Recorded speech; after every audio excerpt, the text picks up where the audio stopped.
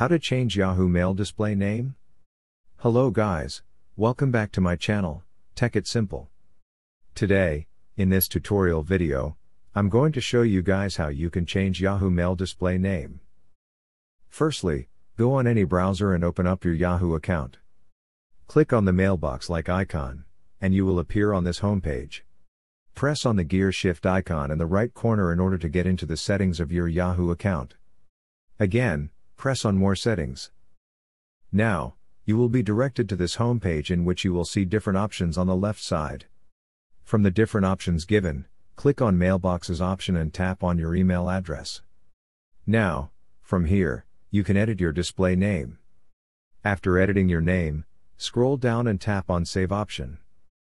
And that's it. This is how easily you can change your display name in Yahoo Mail.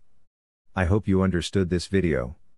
Don't forget to like this video and subscribe to my channel. We'll see you on the next one. Till then, stay tuned. Bye bye.